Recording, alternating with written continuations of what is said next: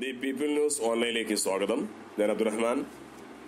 Wisdom youth organisation ജില്ലാ committee സംഘടിപ്പിച്ച യുവത്വം കടമയാണ് കലാപമല്ല എന്ന പ്രമേയത്തിലെ യുവജന സമ്മേളനം തിരുവനന്തപുരം കമലേശ്വരത്തെ മജസ്റ്റിക് മഹലിൽ നോമ്പുതുറയോടുകൂടി അവസാനിച്ചു. ജില്ലയിൽ നിന്ന് നൂറുകണക്കിന് യുവാക്കൾ ഈ സമ്മേളനത്തിൽ പങ്കെടുത്തു.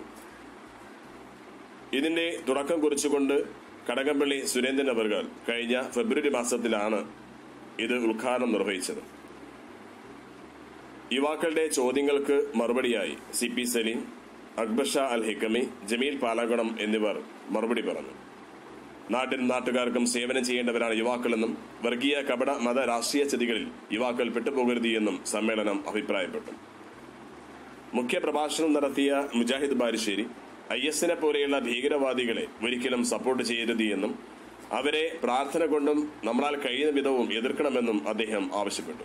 D C C secretary B R M Shaheer ആശംസകൾ അർപ്പിച്ചുകൊണ്ട് സംസാരിച്ചു. വിസ്ഡം യൂത്ത് ജില്ലാ കമ്മിറ്റി സംഘടിപ്പിച്ച യുവജന സമ്മേളനത്തിൽ ധാരാളം നവ പ്രാസംഗികരും പണ്ഡിതരും പങ്കെടുത്ത് സംസാരിക്കുകയുണ്ടായി.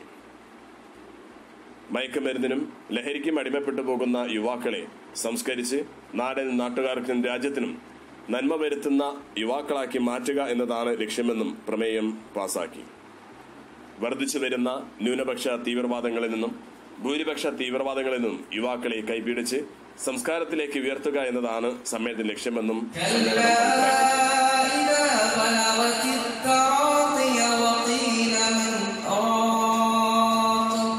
كلا إذا بلغت التراقي